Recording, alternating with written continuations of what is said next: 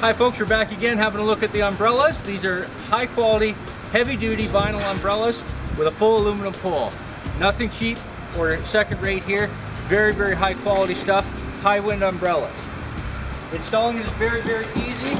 Your cart will come with the bottom half of the pole already mounted in the cart. So putting the umbrella up is just a matter of pushing it up by hand and then installing it in the pole until it clicks.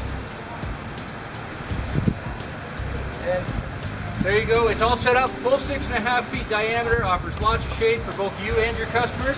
At this point, if you have them, and we recommend you do have them, you would also hang your chip clip display racks in the ribs right here. If people see the chips, they'll buy the chips. If you have any questions about our umbrellas or anything else, visit us at www.willydogs.com or call us at 1-800-915-4680.